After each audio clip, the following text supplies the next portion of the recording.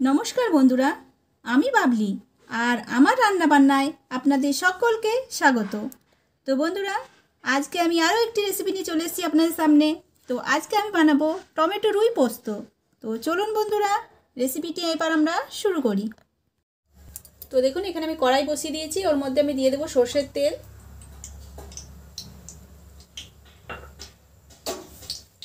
তো সর্ষের তেলটা গরম হওয়া পর্যন্ত আমি অপেক্ষা করব। তেলটা আমি চারদিকে একটু ঘুরিয়ে নেব।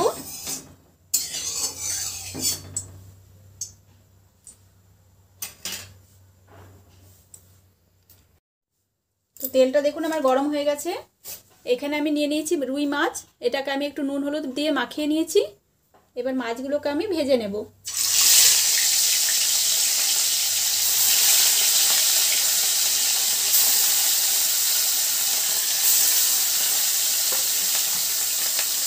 তো মাছগুলোকে আগে ভেজে নেব প্রথমে। তো মাছগুলো দেখুন, আমি দুপাশে বেশ ভালো করে লাল লাল করে ভেজে নিয়েছি। তো এবার মাছগুলোকে আমি তুলে নেব।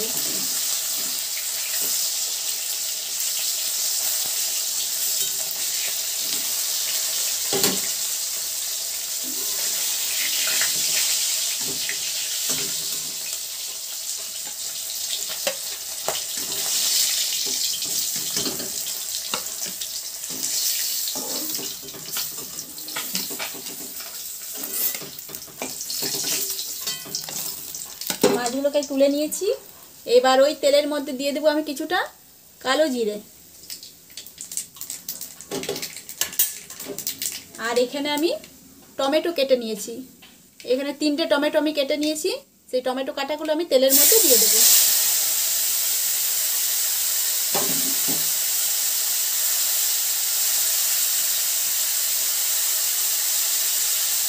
এবার দেবো আমি একটু নুন।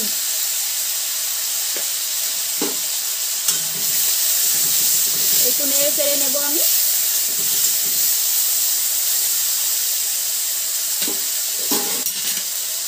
দিয়ে আমি টমেটোটাকে ঢাকা দিয়ে রাখব, যাতে টমেটোটা একটু গলে যায়।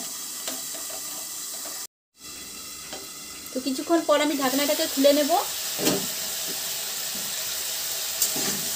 তো দেখুন, টমেটোর থেকে জল বেরিয়ে গেছে। আর খুন্তি দিয়ে আমি টমেটোগুলোকে একটুখানি ভেঙে ভেঙে নেব। আর টমেটোটা দেখুন, সেদ্ধ হয়ে গেছে। আমি একটু করে খুন্তি দিয়ে টমেটোটাকে ভালো করে ম্যাশ করে নেব। তো এবার আমি এর মধ্যে দেব, এখানে দেখুন পোস্ত, একটু শুকনো লঙ্কা দিয়ে আমি বেটে নিয়েছি। তো সেই পোস্ত বাটাটা আমি এর মধ্যে দিয়ে দেবো।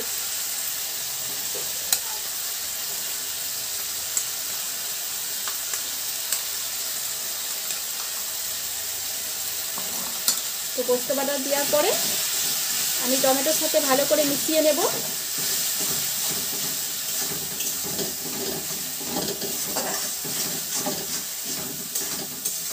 দেখুন, এটা ভালো করে একটু মিশিয়ে নিয়েছি।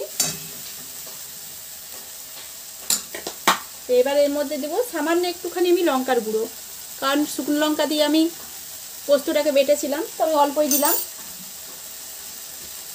এবার আমি পোস্ত বেটেছিলাম সেই বাটির মধ্যে একটু জল নিয়ে সেই জলটা এর মধ্যে দিয়ে দেব। দিয়ে আবারও ভালো করে একটু নাড়াচাড়া করে নেব।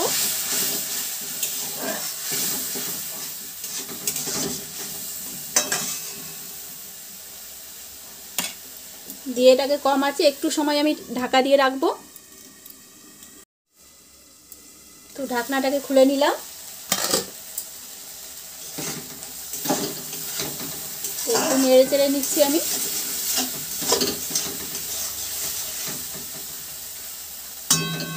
তো এবার আমি এর মধ্যে দিয়ে দেব এই যে ভেজে রাখা মাছগুলো।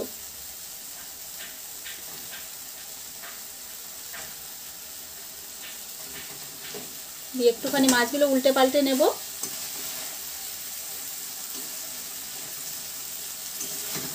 এটা গরম ভাতে খেতে এরকম পোস্ত দিয়ে, টমেটো দিয়ে মাছ দারুণ লাগবে বন্ধুরা, আপনারা একবার খেয়ে দেখবেন। তো এটা আমি এভাবে দু পাঁচটা উল্টে দিয়ে আমি সামান্য একটুখানি জল দিয়ে দেব। একবারই অল্প, বেশি দেব না।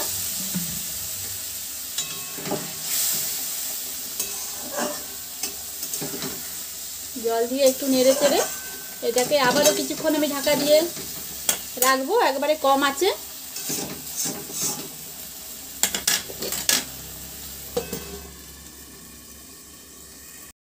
তো কিছুক্ষণ পরে আমি আবারও ঢাকাটাকে খুলে নিলাম। ঢাকাটা খোলার পর দিয়ে দেবো এখানে কুচনো ধনে পাতা। আর কয়েকটা দিয়ে দেবো গোটা কাঁচা লঙ্কা। আঁচটাকে আমি একবারে কমিয়ে রেখেছি।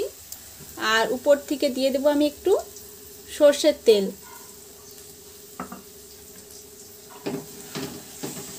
দিয়ে এটাকে আর বেশিক্ষণ আমি রান্না করব না। কারণ সর্ষের তেলের যে কাঁচা গন্ধটা, সেটা বেশ গরম ভাতে খেতে ভালোই লাগবে। তো দেখুন, এগুলোকে একটুখানি উল্টে পাল্টে নেব। তো বন্ধুরা দেখুন, তৈরি হয়ে গেল আমাদের টমেটো দিয়ে রুই পোস্ত। তো যদি রেসিপিটি আপনাদের ভালো লেগে থাকে, তো আমার ভিডিওতে অবশ্যই একটা লাইক করে দেবেন। আমার চ্যানেলটিকে সাবস্ক্রাইব করে আমার পাশে থাকবেন। আর কমেন্ট করে জানাবেন বন্ধুরা যে আমার রান্নাটা কেমন হয়েছে। তো আজকে এই পর্যন্তই।